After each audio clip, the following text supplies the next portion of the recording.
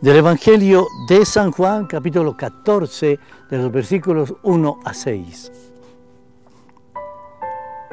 Estando en la última cena, Jesús dijo a sus discípulos, no se acobarde su corazón, crean en Dios, crean también en mí. En la casa de mi Padre hay muchas habitaciones. Si no fuera así, les habría dicho que voy a prepararles un lugar.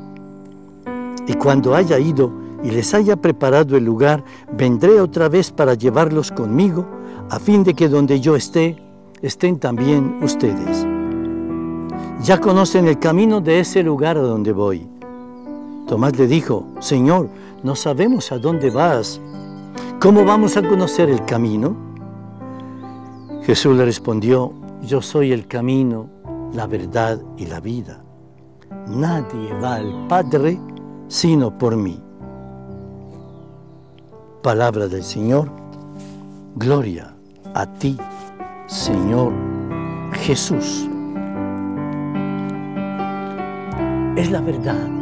El Señor es camino, es verdad, es vida. En Él tenemos toda salvación y todo amor.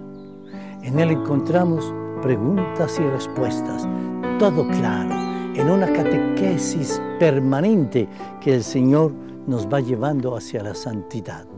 Santidad que tiene su máxima expresión humana en María Santísima.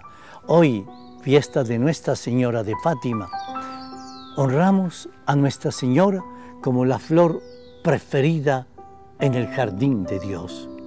Es como esta hermosa flor que ya está abierta, que es entonces hermosa y que luce dentro de todo el demás concierto.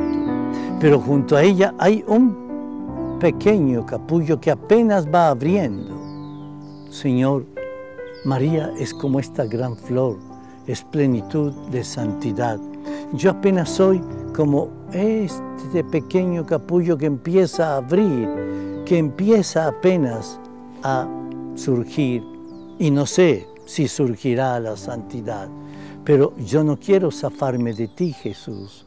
Reconozco que en María está entonces la plenitud, pero que la conversión a la cual ella me invita puede sostenerme para llegar a ser como un pequeño botón que llegue algún día a brotar en aras de la santidad. Que María Santísima sea protección e invitación a la santidad. En el nombre del Padre, y del Hijo, y del Espíritu Santo. Amén.